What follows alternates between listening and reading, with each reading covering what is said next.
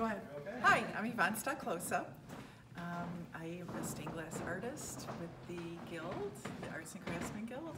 This is a tulip panel that I did um, not too long ago, and recently I did this mirror piece.